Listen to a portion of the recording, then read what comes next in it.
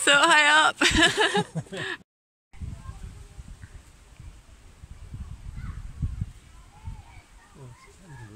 There's loads.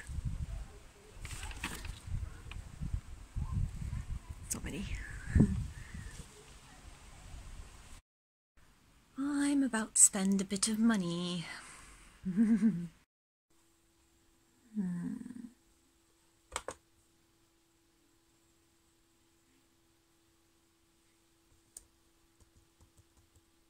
Yep, I think that one will do.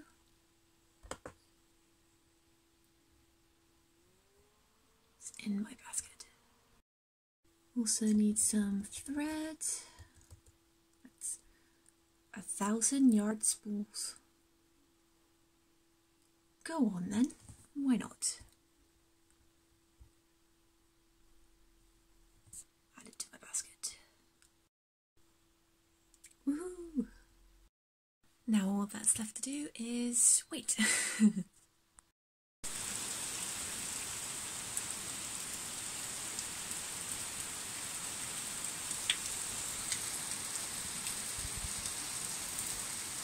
Lots of rain.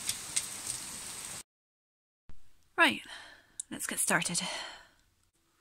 For those of you who don't know, this is what a knitting pattern looks like. Uh, I might explain something like it one day, but uh, just as you know, this is what it looks like. My sewing machine has arrived. It's time to open it.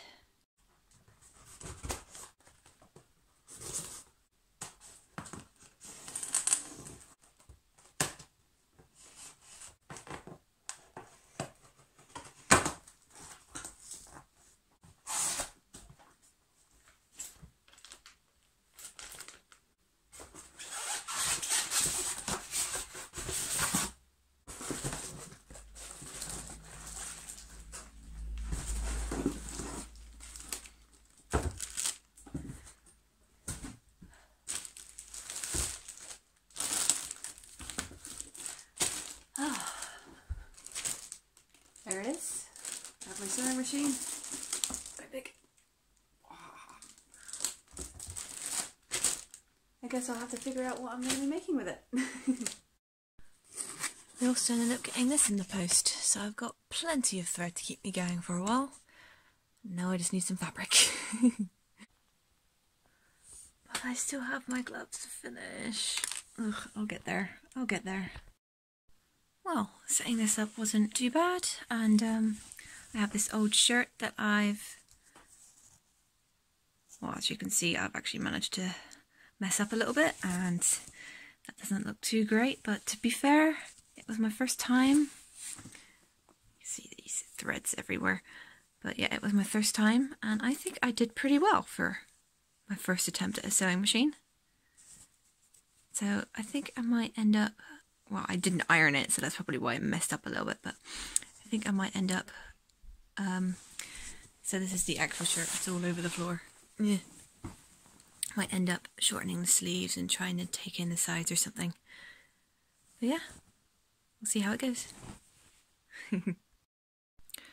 Decided to keep knitting after yesterday's uh, exploration with the sewing machine, and my first gloves almost done. I've got some nasty threads I need to sort out in a bit.